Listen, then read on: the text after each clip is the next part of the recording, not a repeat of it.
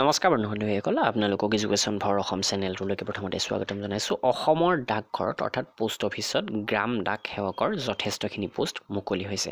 আৰু এই পোষ্টবিলাকৰ কাৰণে ইতিমধ্যে অনলাইন আবেদন আৰম্ভ হৈছে। কিদৰে অনলাইন আবেদন কৰিব লাগিব বা এপ্লিকেশ্যন ফি কিদৰে পে' কৰিব লাগিব সকলোখিনি ভিডিঅ'টোত আপোনালোকক জনাম। আহক ভিডিঅ'টো আৰম্ভ কৰোঁ। আৰু আগন্তুক অসমৰ বিভিন্ন কম্পিটিটিভ এক্সামৰ বাবে অসমীয়া আৰু ইংৰাজী মাধ্যমত পি ডি এফ কিতাপ যদি বিচাৰে আমাৰ website Assam G K P D F dot com visit কৰিব। যথেষ্ট কম দামতে পি ডি এফ কিতাপ ইয়াতে আপোনালোকে লাভ কৰিব।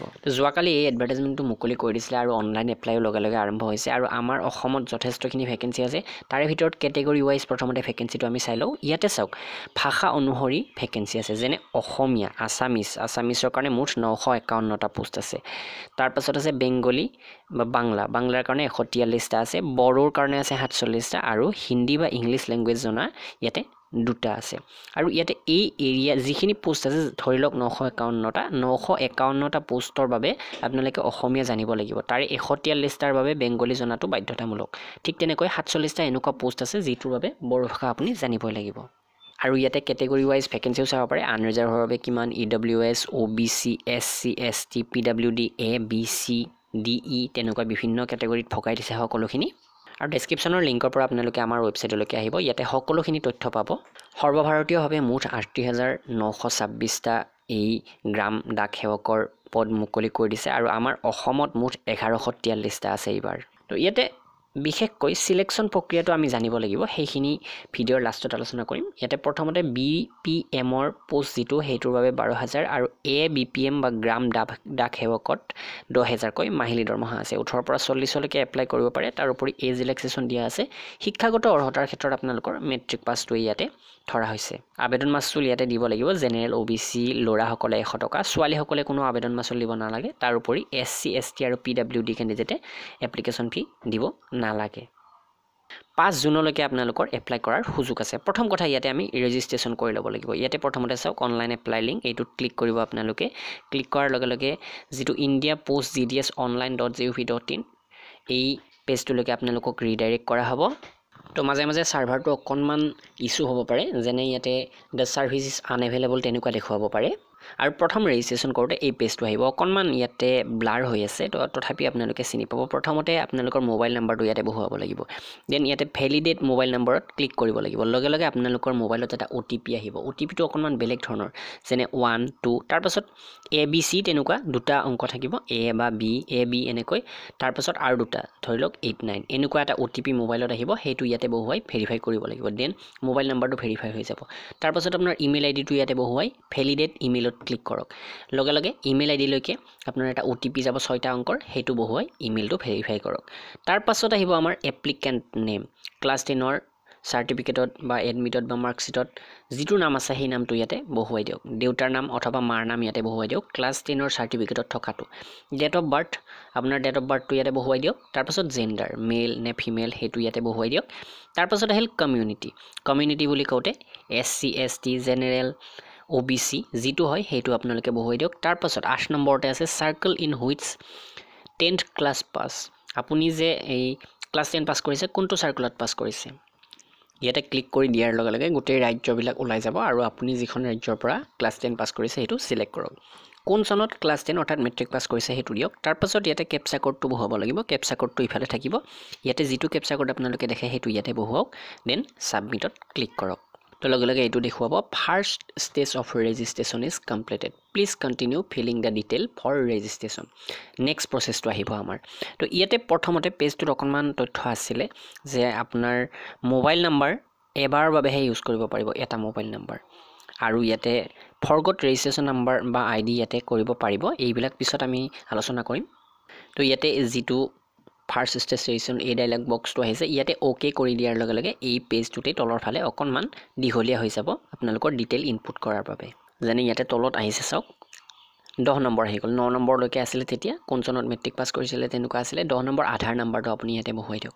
তাৰপাছত আছে are you a person with disability যদি পি ডাব্লিউ ডি কেণ্ডিডেট হয় ফিজিকেলি হেণ্ডিকেপ হয় তেনেহ'লে ই এছ দিয়ক। যদি নহয় ন' দিয়ক। ই এছ দিলে কি ধৰণৰ ডিজেবিলিটি আপোনাৰ আছে সেইখিনি ইয়াতে শ্ব' হ'ব।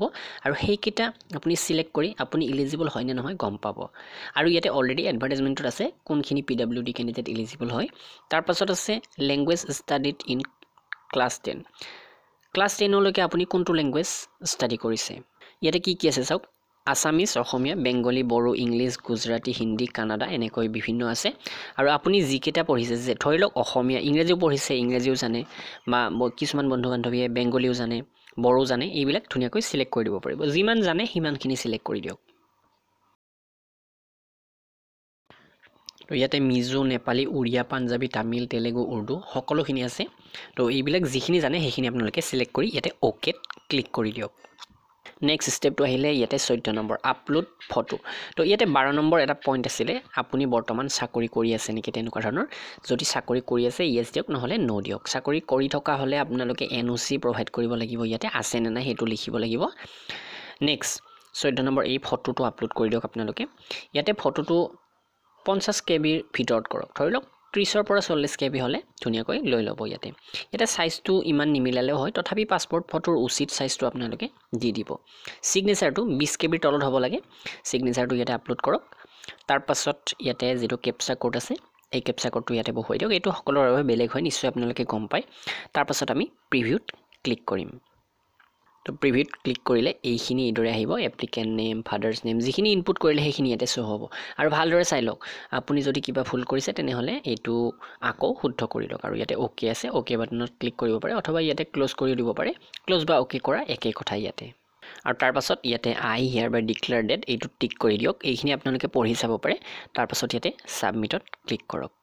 আৰু লগে লগে আপোনালোকৰ এই এপ্লিকেশ্যন ফৰ্মখন এইদৰে আহি যাব। আৰু ইয়াতে এটা ৰেজিষ্ট্ৰেশ্যন নম্বৰ পাব। চাওক ইয়াতে মই এইটো ৰেজিষ্ট্ৰেশ্যন নম্বৰ পাইছোঁ এছ আৰ ছিক্সটি তাৰপাছত ইয়াতে পাঁচটা অংক আছে। অৰ্থাৎ পাঁচটা সংখ্যা আছে। হয় ইয়াত তাৰপাছত B B C C D এইটো আছে। এইটো আপোনালোকে নোট কৰি ৰাখিব কাৰণ এইটোৰে আপোনালোকে এপ্লিকেশ্যন ফিটো পে' কৰিব লাগিব। যদি লাগে আপোনালোকৰ আৰু যিসকল এছ চি এছ টি বা ফিমেল হয় তেওঁলোকে নালাগেই।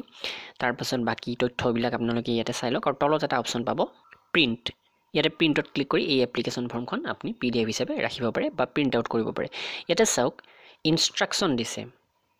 তো ইয়াতে কেইটামান ইনষ্ট্ৰাকশ্যন দিছে। Please keep the registration number for future reference এই ৰেজিষ্ট্ৰেশ্যন নাম্বাৰ যিটো মই ক'লোঁ সেইটো ৰাখিব লাগিব আপোনালোকে। লগতে এটা কথা কৈছে যে ডিপাৰ্টমেণ্ট অফ পোষ্টে কোনো কাৰণত আপোনালোকক ফোন নকৰে।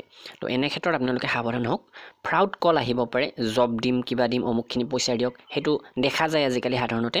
তো তেনেকুৱা কল আপোনালোকে একচেপ্ট নকৰিব বা কোনোবাই তেনেকুৱা কিবা বিচাৰিলে আপোনালোকে একো তথ্য নিদিব। ধৰি লওক আপোনালোকৰ ভোটাৰ আই ডিৰ বা আধাৰ কাৰ্ডৰ তথ্য বিচাৰিব পাৰে তেনেহ'লে আপোনালোকে সেইবিলাক প্ৰভাইড নকৰিব।